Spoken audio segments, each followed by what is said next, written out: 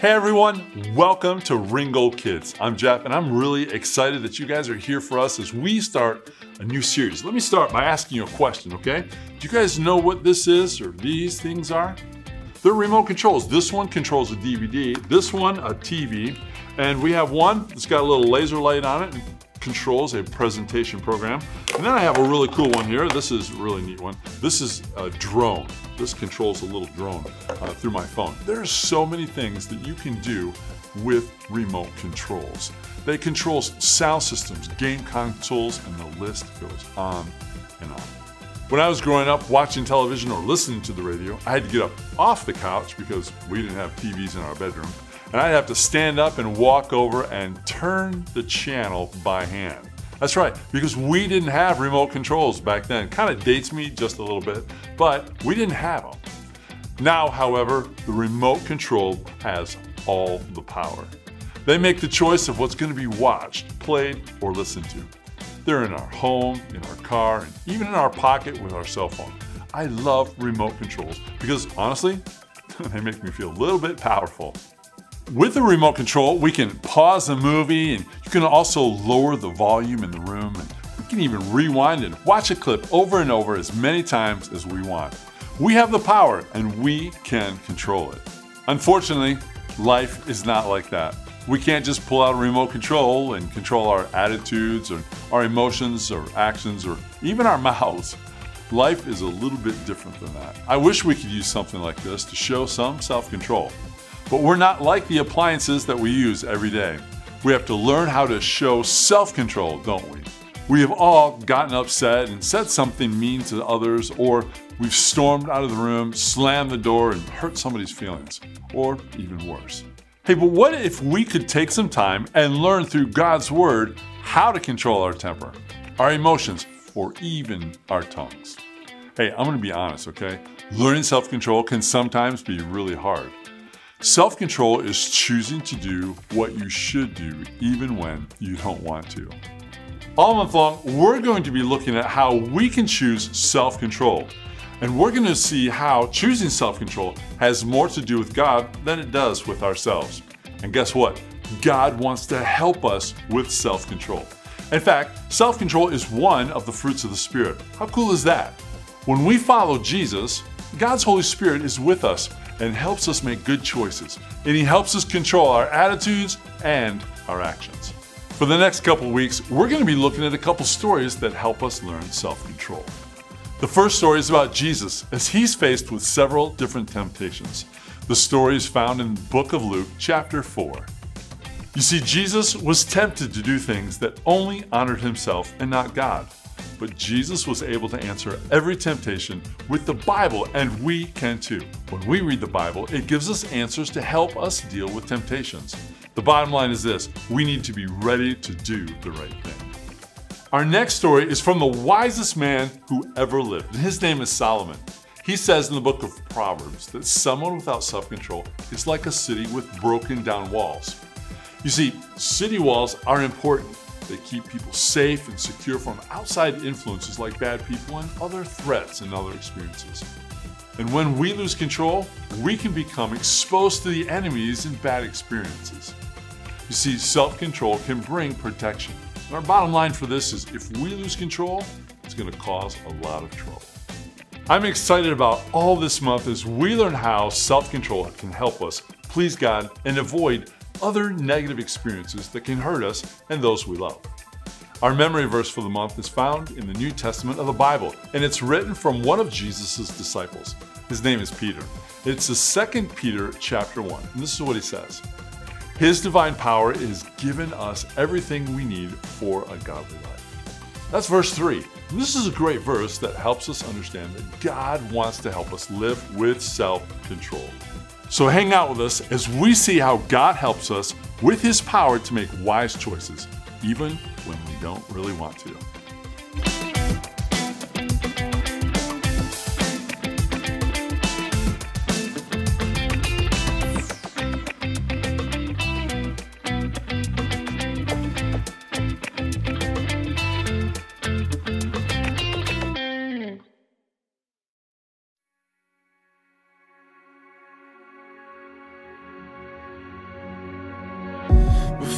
I spoke a word, you were singing over me. And you have been so, so good to me.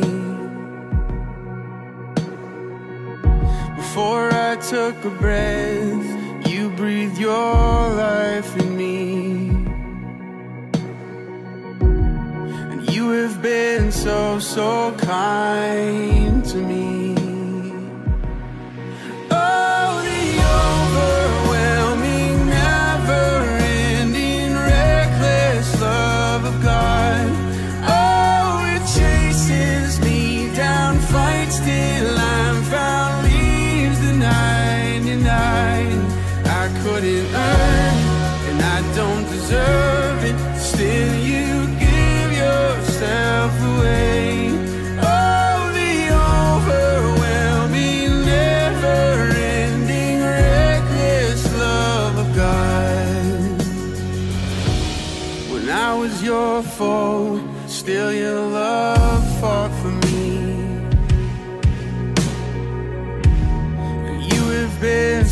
so, good to me.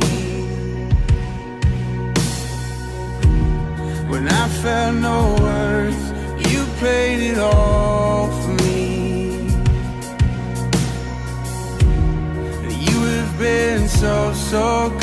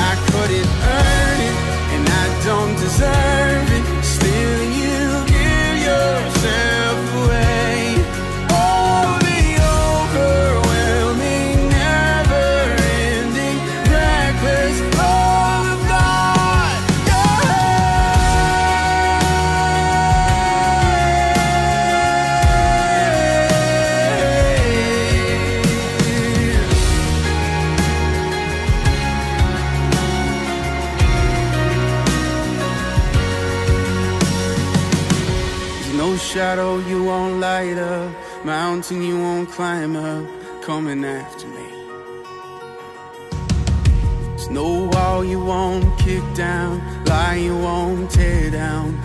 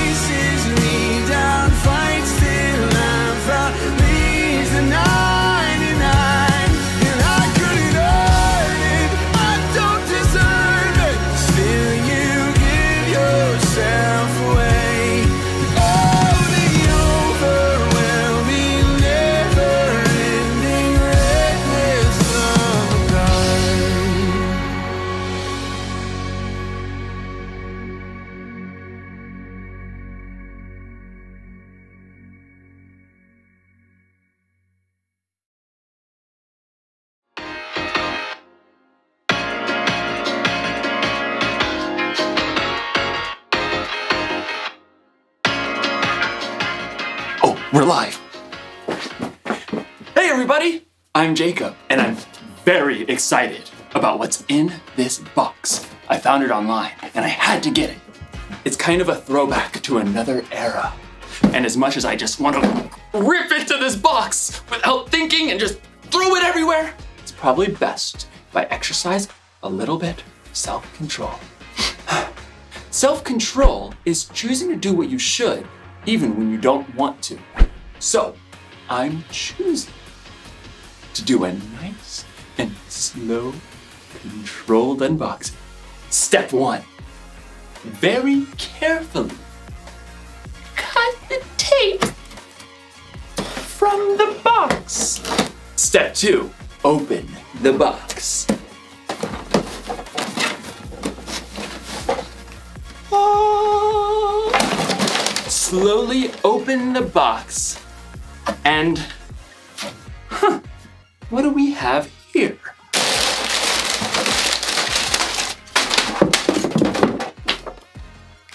Instruction manual. Very important. Not. One remote control and the treasure of treasures. A VCR video set recorder. Let me just, uh,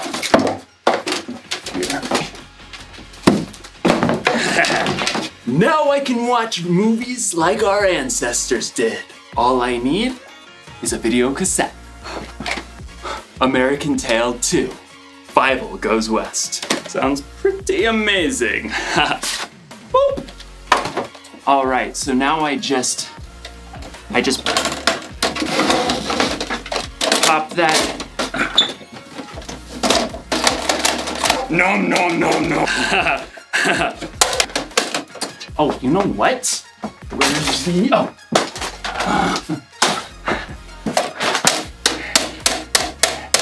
I think I broke it. I don't understand. I thought that I was, I thought I was prepared. I don't know where I went wrong.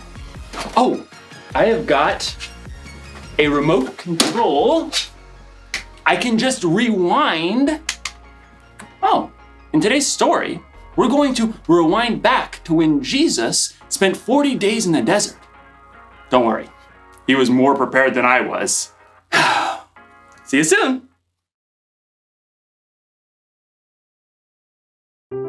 The Bible. It's 66 books of history, stories, letters, and poetry that fit together to form God's one big story.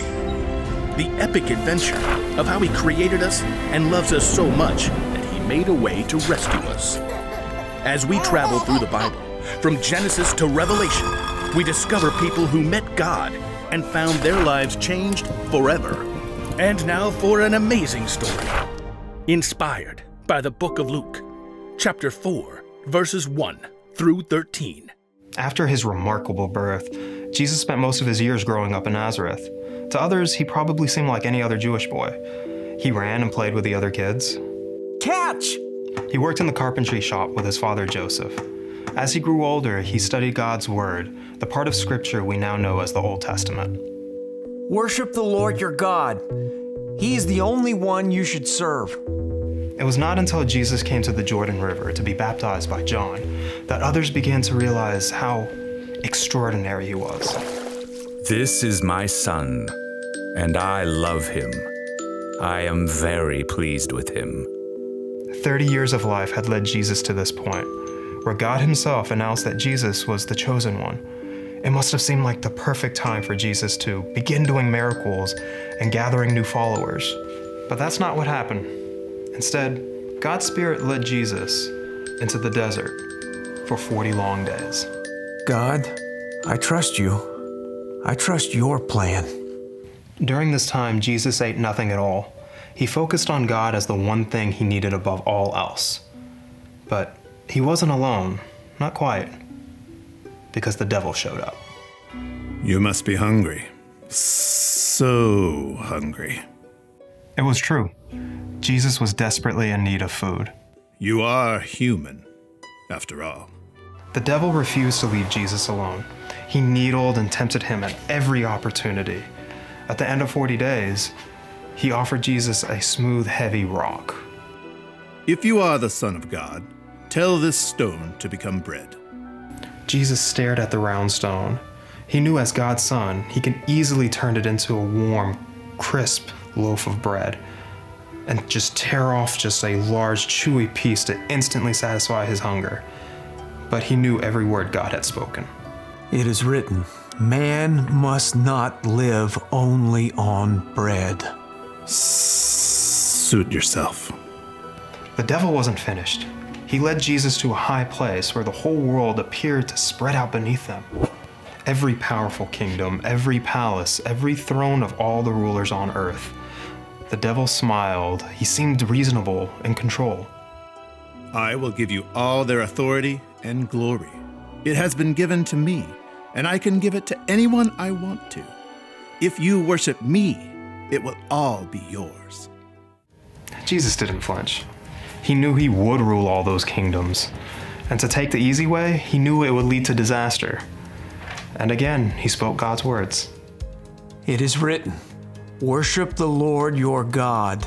He is the only one you should serve. The devil narrowed his eyes and readied his last shot. He led Jesus to the city of Jerusalem. They stood upon the very highest point of the temple itself. The worshippers far below looked as small as beetles. The devil smirked. If you are the Son of God, throw yourself down from here. It is written, The Lord will command his angels to take good care of you. They will lift you up in their hands. Then you won't trip over a stone. The devil's true question seemed to hang in the air. Does God really love you? Prove it. But once again, Jesus had God's own words at the ready. Scripture says, Do not test the Lord your God. The devil seethed with rage. He couldn't trap Jesus, so he finally gave up and left until his next good chance. When the devil was gone, God sent angels to take care of Jesus and provide everything he needed. And because Jesus spent his entire life discovering what God said, when the time came, he was ready to make a wise choice.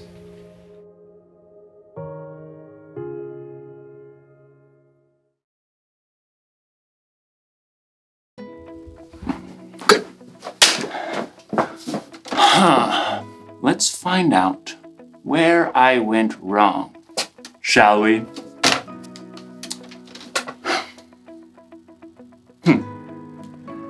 Full screen. Rewind. There. And play. Very important. Not. That was my mistake tossing out the instructions. If I want to use a VCR, first I have to learn how to use a VCR. Makes sense, doesn't it? No? How about this? When Jesus was in the desert, he was tempted by the devil to do things he shouldn't do. But Jesus was prepared. He used things he'd learned from what we now call the Old Testament to help stand against temptation. Most of us probably won't spend 40 days without food in the desert, but we will definitely be tempted to do things that we shouldn't do. You might be tempted to yell at your little sister. You might be tempted to watch YouTube when you're supposed to be doing your homework. You could be tempted to eat that whole pizza instead of saving some for your friends. So, what do we do? How do we control ourselves when we're tempted to do what we shouldn't? If you want to do the right thing, first, you have to learn the right thing. You need to be ready, prepared, and that means you need instructions. We can get instructions for life in all kinds of places. The Bible is an incredible place to look if you want to know how God wants you to live. And God has also placed people in your life that can help teach you the difference between right and wrong. It could be your parents, your teachers, your small group leaders. If we listen and learn, we'll be more prepared when temptation happens. So here's the one thing to remember today be ready to do the right thing. Learn now so you don't do something you regret later. I wish this thing could rewind real life. No, it's, it's just a remote. I'll see you next time.